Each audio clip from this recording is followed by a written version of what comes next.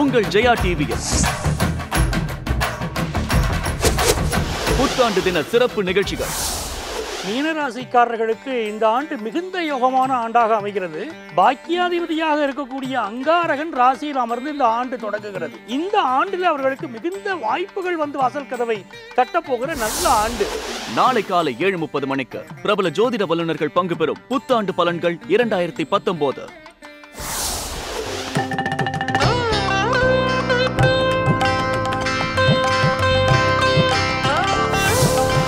நாளை காலை எட்டு முப்பது மணிக்கு பிரபல இசைக்கலைஞர் ராஜேஷ் வைத்யா குழுவினருடன் பங்கு பெறும் மார்கழி உற்சவம். படித்தால் வேலைதான் கிடைக்கும். நடித்தால் இந்த நாடே கிடைக்கும்.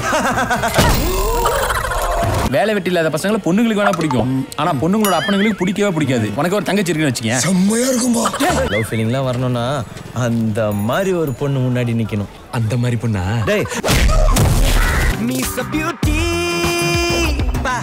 நாளை காலை ஒன்பது மணிக்கு சிவகார்த்திகேயன் கீர்த்தி சுரேஷ் நடித்த ரெமோ.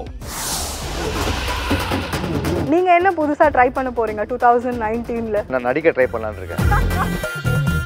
அடுத்த படம் பண்ணா ஹாலிவுட் தான். அந்த மாதிரி யோசி யோசிச்சிருக்கீங்களா? கிருஷ்ணா கோலிவுட்ல இடம் கொடுத்துருக்காங்க. அதை தக்க வச்சுக்கோடா தம்பி. நாளை பகல் பன்னிரண்டு மணிக்கு நடிகர் கிருஷ்ணா தன் திரையுலக அனுபவங்களை சொல்லும் உங்கள் கிருஷ்ணா. ஒரு கலகலப்பான ஜாலி சாட்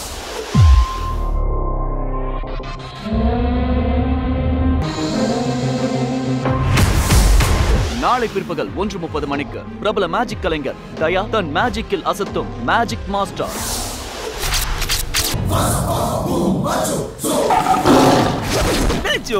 மெர்சல் ஐட்டம்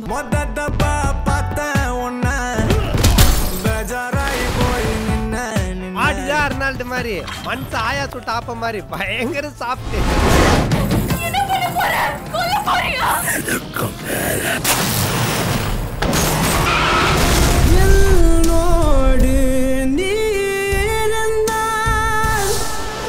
நாளை பிற்பகல் இரண்டு முப்பது மணிக்கு விக்ரம் எமி ஜாக்சன் நடித்த ஆய் சிறப்பு திரைப்படம். வணக்கம். இந்த புத்தாண்டு அன்னைக்கு உங்க எல்லாத்தையும் மீட் பண்ண வரேன். நாளை இரவு எட்டு மணிக்கு விக்ரம் பிரபு திரையுலகில் எடுத்து வைக்க போகும் புது பாதையை சொல்லும் விக்ரம் பிரபுவின் புதிய பாதை. விக்ரம் பிரபுவுடன் ஒரு சிறப்பு நேர்காணல்.